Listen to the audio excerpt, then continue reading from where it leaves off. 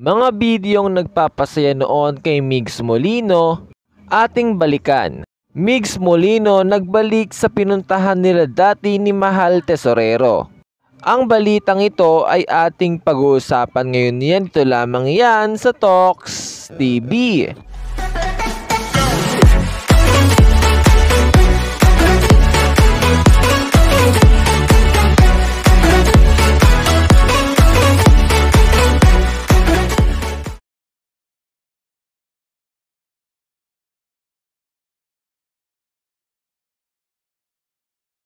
Nag-upload nga kanina si Migs Molino ng isang TikTok video. Isang video kung saan pamilyar na lugar nga ang pinuntahan ni Bunso Migs Molino. Lugar na minsan nangang napuntahan ng Mamigs Tandem. Kaya nga marami nga ang napatrowback sa litratong ito ni Migs Molino at Mahal Tesorero.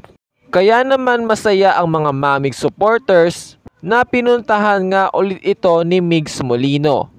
Tanda na namimiss na nga ni Migs Molino si Mahal Tesorero.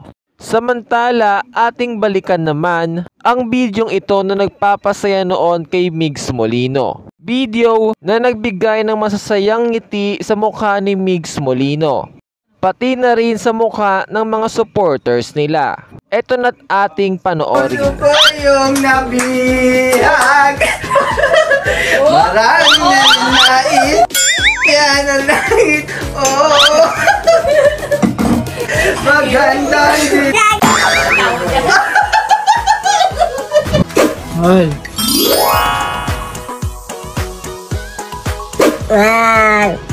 Ay, hello, Kitty. Hello, yan. Ano to? Hello. Wow! Ito, ganda naman ng bagay na to. Wow!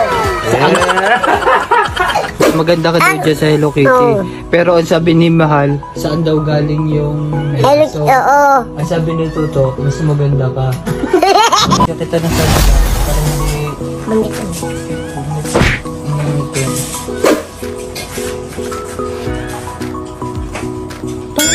Toy! Ang dali.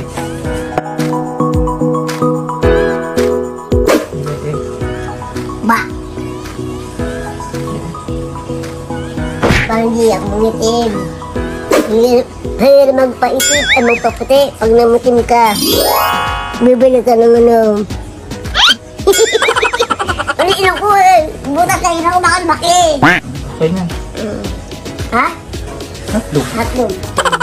Ito lamang ang ating update for today. Kung natapos mo itong video, please subscribe for more update.